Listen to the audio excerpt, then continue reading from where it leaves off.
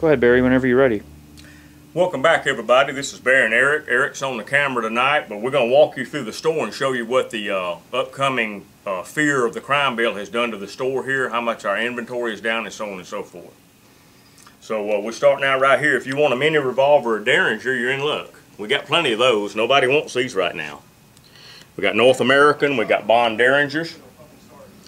Stepping on down to this other counter, we got plenty of 1911s. Of course, they're not high cap. That's why nobody wants one right now.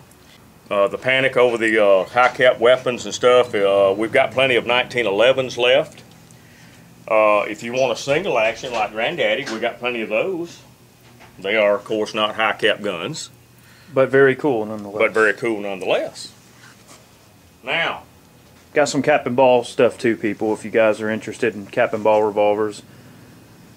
All right. Getting getting down to business, Eric is going to scan the wall of Liberty over here, and it's getting very scarce. All right, you ready? Uh -huh. Here we go.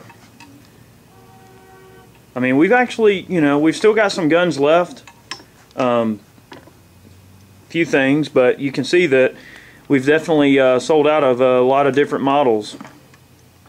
So Barry, why don't we talk a little bit about what we have left? Well, we're down to about five AR-15s left. We've got uh, two AK-74s.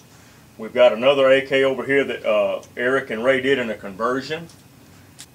This is a 308 conversion that Eric and Ray did. Nice Magpul.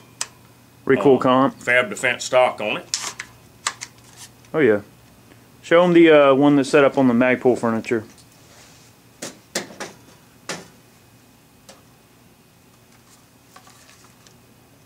Oh yeah. So we have a few, you know, Sega bills left in stock. Uh, but you know, of course, this gun ban talk has really left us a little bit on the slim end of things. Well, the thing about it though, Eric, people are saying that, you know, hey, this is great for the gun business. Well, it doesn't do you any good if you can't get other guns to sell. That's right. Um, uh, right now, as we speak, Ray is at the Ellett Brothers show trying to find out what the gun makers are going to do about all this stuff, if anything. But uh, resupply is going to be very, very slim. And we're completely out of AR lowers, uh, stripped or complete. I mean, you see we have a few random AR uppers, but nothing in a 223. Everybody's been snatching up all the 223. Right. Down to a little bit of 5.56 ammo left. I mean, again, not a ton of stuff. This is our entire inventory of 5.56 ammunition entire inventory. Yeah, we went from I think about 12,000 rounds on stock to this. Well, yeah, we probably had more than that, but this is this is it. We don't have any Magpul mags, no P mags. We don't have any. Uh, we've got a few AK mags left, but uh, we sold 500 P mags two weeks ago in one day, and people just made a run on it. We sold eight lowers. We sold four complete lowers in one day. It all hit on the first day, and then it kind of tapered off a little bit, but people are still pouring in here buying guns. Oh, yeah. Whatever they can get. Yeah, well, we're down, down to slim pickings, people. But we just want to let you know we do have some things left. Um, all this fear buying has definitely cleaned us out. We're hoping that we're going to resupply, but we don't know when. Uh, Barry, why don't we show them the boomstick wall? Yes, uh, from previous gun tours, you will notice that the boomstick wall is half empty. Normally we have two layers of shotguns here. Now we're down to this, and all this is empty. The problem with it is people are not able to resupply. Some of the distributors are saying they're not going to ship anything until June. That's five months from now. So the panic is all over. We get subscribers calling from all over the country. I had people calling today from Connecticut, Illinois, all over the country. They say the same thing. People are grabbing guns as fast as they can get them. And we've had visitors also, Barry. Yes, we have. Uh, they're grabbing guns as fast as they can get them, ammunition, high-cap mags. Now, as we speak, uh, tomorrow, the NRA is meeting with Joe Biden at the White House to hash some of this stuff out. I'm hoping the NRA will not give an inch now they they claim they're not going to, but I, am afraid that they're they're gearing us up for an executive order. On the news a while ago, it said that, uh, President Obama may intervene with executive powers to control guns. Now, he can do that. And I think tomorrow when the NRA hash it out with Joe Biden, they're going to say, well, uh, you know, if you're not going to compromise with us, we'll just get President Obama to do an order right now. Or whatever he needs to do. But he is going to intervene, and they're warming you up for that right now on the news. So be prepared, folks.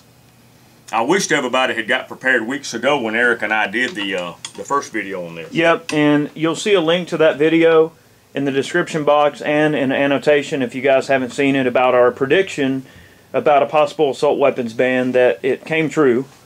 Okay, and we see we do have some used guns in stock. So stock overall is not too bad. I mean, we do have some guns for sale.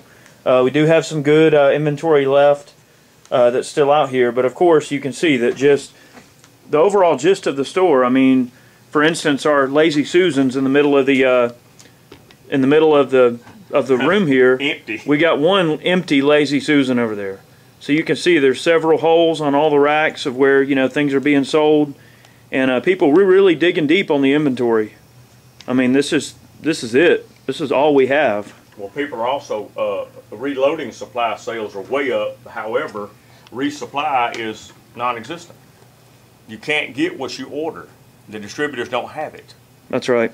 And there's several guns that we can't get. Uh, Mini 14s, 1022s, forget about that. Can't get lower receivers. No ARs, no, No ARs, AKs, nothing evil and black. You're not going to get it. Not even an SKS.